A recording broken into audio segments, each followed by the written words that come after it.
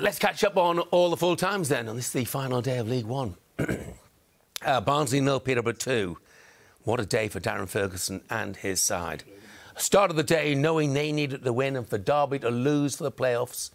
There were one or two other scenarios, but not very likely. And they had to do it at Oakwell, where Barnsley had won 14 of their last 16 home games.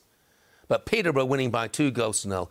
Clarke-Harris with his 26th of the season. Jack Taylor got the other goal. And uh, terrific Peterborough support, by the way, up at Oakwell today. And they will all travel home very happy, safe in the knowledge that they have finished sixth and will play Sheffield Wednesday in the playoff semi-finals. Bristol Rovers 2, Bolton Wanderers 3. Bolton Wanderers will be in those playoffs as well. They will play Barnsley. Um, and uh, goals from Shoretire and Dan N'Lundulu and Aaron Morley for them. Uh, Luca Hoole got uh, a Bristol Rovers goal. Uh, and John Marquis with the other goal. Rovers finished with five defeats in six. Bolton in those playoff places. They finish in fifth spot uh, after that 3 2 away win today.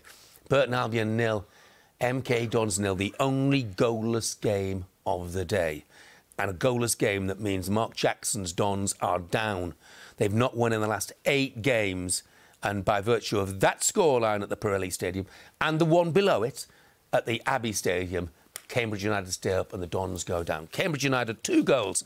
Harrison Dunk and Sam Smith with his 14th of the season against a Forest Green side who've already been relegated and finished the season, by the way, with an unenviable record of not having kept a single clean sheet in what was their uh, away from home in what was their first ever season at this level.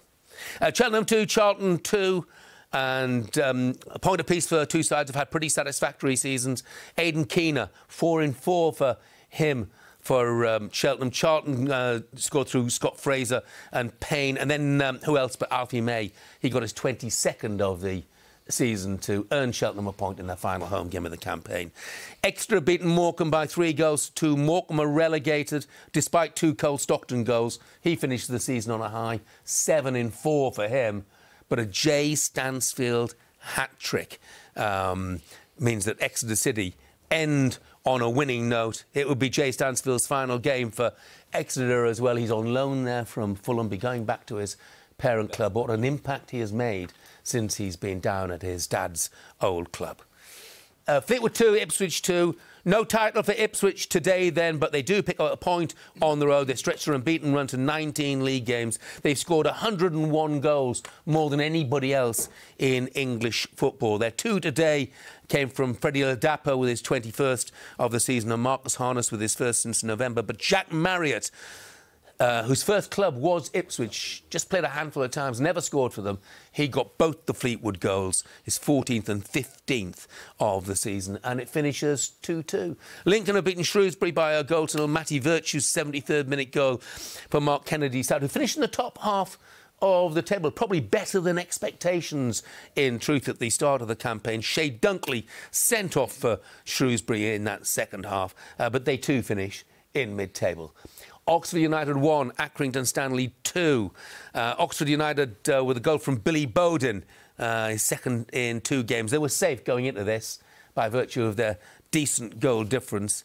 Uh, Adedoyin scored his first away goal for Accrington Stanley to level things up. Aaron Pressley got a winner. So Accrington, effectively already relegated before today, have at least gone out with a flourish. After five seasons in League One, they've won away from home in their final game at this level.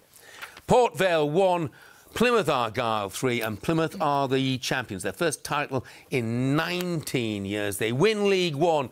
Despite an early blow, they fell behind as early as the third minute. James Plant put the home side in front, but back came Plymouth.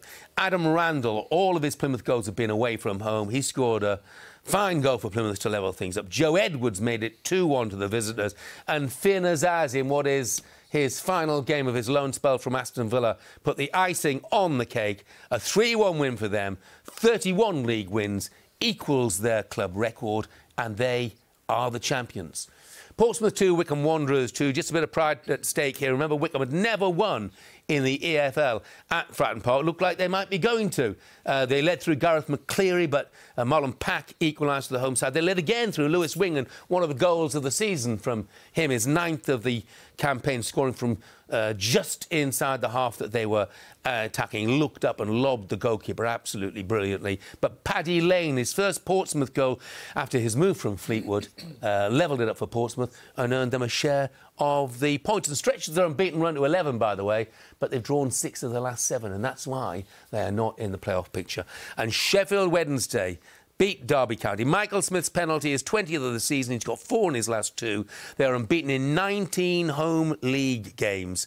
They finished third in the table. That was always going to be the case. But the turning point here, no doubt about it, the award of that penalty just before half time and the red card given to Curtis Davies in the same incident. And try as they might, Derby's 10 men could not find a way past a resolute Sheffield Wednesday side.